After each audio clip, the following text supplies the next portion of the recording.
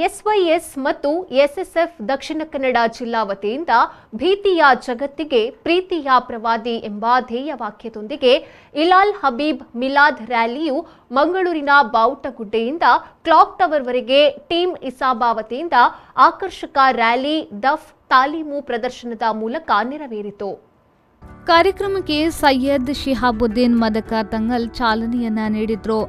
ಸಮಾರೋಪ ಕಾರ್ಯಕ್ರಮವನ್ನ ಎಸ್ಎಸ್ಎಫ್ನ ಅಧ್ಯಕ್ಷ ನವಾಜ್ ಸಕಾಪಿ ಉದ್ಘಾಟಿಸಿದ್ರು. ಈ ವೇಳೆ ಡಾಕ್ಟರ್ ಎಂಎಸ್ಎಂ ಅಬ್ದುಲ್ ರಶೀದ್, ಜೈನಿ ಕಾಮಿಲ್ ಸಕಾಪಿ ಅವರು ಮಾತನಾಡಿ, ಮನುಷ್ಯರ ಮಧ್ಯೆ ಪ್ರೀತಿ ತುಂಬಿದ, ಮಾನವೀಯತೆ ಬೆಸೆದ ಪ್ರವಾದಿ ಮೊಹಮ್ಮದ್ ರವರ ಜೀವನ ಸಂದೇಶ ಸಾರ್ವಕಾಲಿಕವಾದುದು.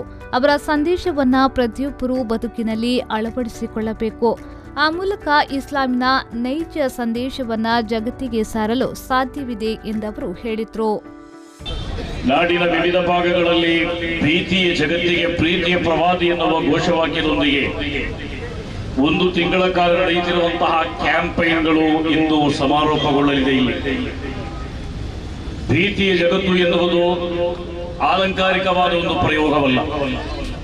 ಮನುಷ್ಯ ಸ್ವಸ್ಥವಾಗಿ, ಸ್ವಚ್ಛಂದವಾಗಿ, ಸ್ವತಂತ್ರವಾಗಿ ಬದುಕಲು ಸಂಪೂರ್ಣವಾದ ಅವಕಾಶ ಮತ್ತು ಸ್ವಾತಂತ್ರ್ಯವನ್ನು ಪಡೆದುಕೊಂಡು ಈ ಜಗತ್ತಿಗೆ ಹುಟ್ಟಿಬಿದ್ದಿದ್ದಾನೆ ಅದೇ ಸಂದರ್ಭದಲ್ಲಿ ಅವನ ಕೈಕಾಲುಗಳಿಗೆ ಬೇಡಿಗಳನ್ನು ತುಡಿಸಿ ಅವನ ಸ್ವಾತಂತ್ರ್ಯವನ್ನು ಸಂಪೂರ್ಣವಾಗಿ ನಾಶ ಮಾಡಿ ಆತನನ್ನ ಭೀತಿಯೊಂದಿಗೆ ಬದುಕುವಂತಹ ಒಂದು ವಿಚಿತ್ರವಾದ, ವಿಲಕ್ಷಣವಾದ ಜಗತ್ತಿಗೆ ಆತನ್ನ ತಳ್ಳಲ್ಪಡುವಂತಹ ಸನ್ನಿವೇಶವನ್ನು ನಾವು ನೋಡುತ್ತಾ ಇದ್ದೇವೆ.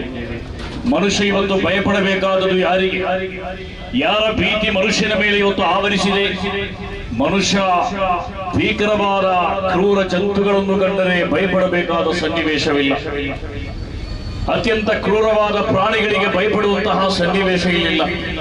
ಅದೇ ಸಂದರ್ಭದಲ್ಲಿ ಮನುಷ್ಯ ಮನುಷ್ಯರನ್ನು ಕಂಡರೆ ಭಯಪಡುವಂತಹ ಒಂದು ಸನ್ನಿವೇಶ ನಿರ್ಮಾಣವಾಗಿದೆ. ಕಾರ್ಯಕ್ರಮದಲ್ಲಿ ಲೇಖಕ ಕೆಎಂ ಅಬುಬಕರ್ ಸಿದ್ದಿಕ್ ಮೊಂಟುಗೂಳಿ ಎಸ್ವೈಎಸ್ ಅಧ್ಯಕ್ಷ ಮೊಹಮ್ಮದ್ ಅಲಿ ಸಕಾಪಿ ಇಸಾಕ್ ಜಹರಿ, ಇಕ್ಬಾಲ್ ಮಧ್ಯನಡ್ಕ, ಕುಬೇಬ್ ತಂಗಳ್ ಮತ್ತಿತರರು ಉಪಸ್ಥಿತರಿದ್ದರು.